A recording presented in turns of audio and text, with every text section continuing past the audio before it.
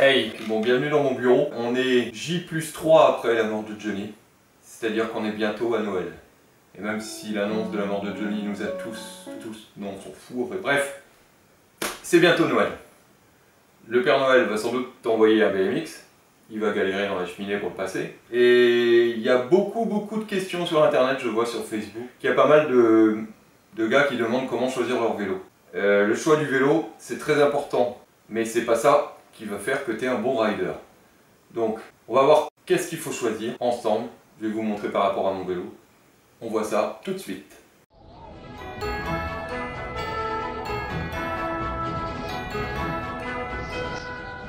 Pas oublier de commander beaucoup de CD de Johnny, ça va marcher cette année. Oh, bonjour jeune BMXeur, c'est le Père Noël. Nous sommes en direct d'une usine de Chine où des enfants fabriquent le vélo que tu vas casser sur ta rampe. Alors choisis-le bien. Oh, oh, oh, oh, oh, oh.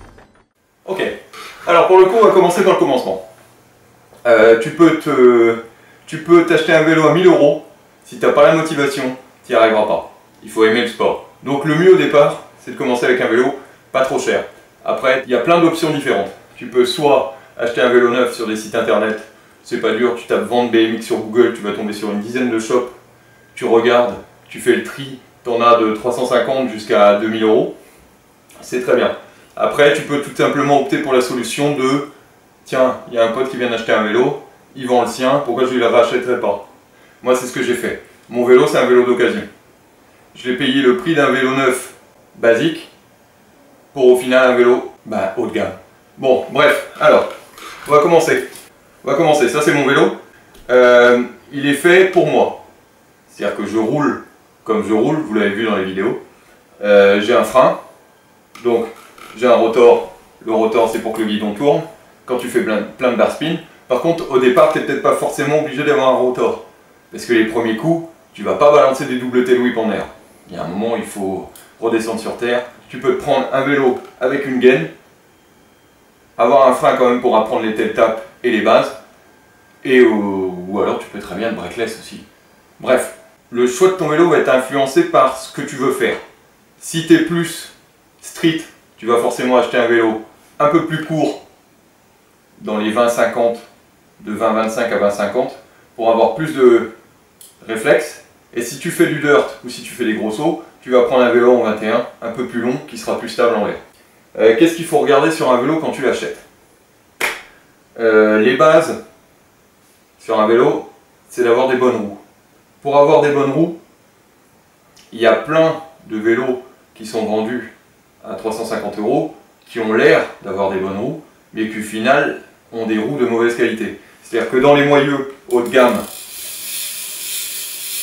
moi c'est un colonie, dans les moyeux haut de gamme, il y a des roulements scellés, comme sur la photo que je mets là.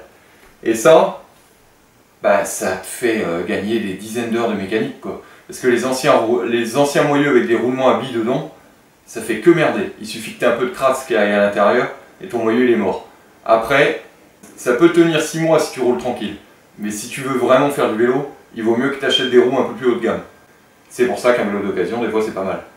Parce que du coup, tu vas le payer le prix d'un vélo neuf, mais au final, c'est un vélo qui valait 1000 balles. Bref, il y a ça, il y a le fait de choisir, euh, attention, parce qu'il y a des vélos aussi, où si un jour tu décides de monter un frein, il y a des vélos où il n'y a pas de tasseau. C'est écrit sur la description, écrit vélo y a écrit vélo breakless, ça veut dire qu'il n'y a pas les, les, petits trucs pour mettre les gainages et pas, et pas les tasseaux pour mettre les triers de frein. Euh, au niveau des tailles de guidon, ça va dépendre de ta taille aussi. Si tu fais 1m50, c'est pas la peine de prendre un guidon 9 pouces ça sera pas forcément euh, le meilleur choix parce que tu vas être comme ça sur ton vélo. Va faire tourner ton guidon quand le guidon touche ton ventre. Et à un moment, tu peux pas. Moi, j'ai un 9 pouces 5 qui est assez haut, mais c'est parce que je fais 1m85. Donc, du coup, si j'avais un guidon plus petit, je serais complètement plié sur mon vélo. Et vu que j'ai mal au dos, ben, il me faut un guidon assez haut. T'as ça, t'as la potence aussi qui est différente sur certains vélos. T'en as où tu peux mettre le guidon par l'avant, donc ça te permet d'avoir le guidon un peu plus bas. Et moi, c'est une top lobe. Je sais pas si tu vois, le guidon il est posé. Et du coup, ça fait gagner quelques centimètres aussi. Quoi de plus? Les pneus. Si tu fais du street, tu n'auras pas les pneus que j'ai moi. Moi, c'est des Tioga Power Block de Race. Donc, c'est ultra léger. Euh, premier grind sur un muret un peu dégueulasse, le pneu il explose. Donc, tu peux choisir des pneus un peu plus typés street, plus larges aussi. Moi, je prends des pneus fins pour aller un peu plus vite dans les parcs. Euh, au niveau des poignées, ça c'est à toi de voir ce que tu veux acheter. Moi perso, ça fait au moins 10 ans que je roule avec des Audi long neck. Je sais très bien que tu connais Audi long neck. Si tu connais un peu le vélo, tu connais Audi long neck parce que même les trottinettes en ont maintenant. Parce que c'est des poignées qui sont top. Elles s'usent pas et ça fait pas des grosses cloques dans tes mains. Après, il n'y a pas grand chose à dire. Il y a juste faire gaffe de ne pas se faire avoir. Parce que des fois, il y a des vélos qui sont super beaux. Du type Mad Main. Je pense à ça directement parce que moi j'ai l'impression que c'est des vélos pas terribles. J'ai jamais testé. Mais je pense que les vélos les plus bas de gamme de chez Mafia Bike, ils ont une belle couleur de cadre. Mais est-ce qu'ils n'auraient pas mis tout, le fric du vélo que tu achètes dans la couleur du cadre? Peut-être que toutes les pièces autour sont nulles. Donc fais bien attention quand tu achètes des trucs. C'est pas forcément la couleur qui fait le rider, c'est pas forcément le poids du vélo qui fait le rider non plus. Pour commencer, c'est peut-être bien de prendre un vélo un peu plus lourd. Ça t'évitera de le péter au bout de deux semaines. Euh, après, oui, il y a un truc important. Si tu veux commencer à faire du grind et que tu es droitier, tu vas mettre tes pegs à droite. Alors, ce que tu peux faire, c'est acheter un vélo avec le plateau à gauche, comme j'ai moi. Comme ça, du côté pegs, tu peux pas casser ta chaîne et c'est quand même pas mal. Donc voilà, c'était à peu près tout. Je me suis dit que j'allais faire une vidéo comme ça parce que j'ai vu que Vodka Prod avait fait une vidéo comme ça. Aucune imagination, le mec. Je suis un copieur. J'ai juste envie que tu achètes un vélo qui aille avec ta pratique. Alors fais pas le con, achète pas un vélo à 1000 balles si t'es pas sûr de continuer. Achète-toi même, chope un vélo décathlon, essaie de sauter avec, tu le sauras vite fait si t'aimes. À la première chute, tu sauras direct si tu veux continuer ou pas. Parce que c'est souvent la première chute qui décide si tu continues ou pas. Et la chose la plus importante, oui, tu peux te permettre de mettre 500 euros dans un vélo, n'hésite pas à mettre 100 euros dans des protèques aussi. Achète-toi un casque, des genouillères, protège tibia, peut-être des protèges chevilles. Les gants, c'est pas forcément obligé. Moi j'en mets parce que j'aime pas avoir les mains qui suent. Mais mets les protèques aussi. Pas que les vélos. Parce que le vélo c'est bien beau.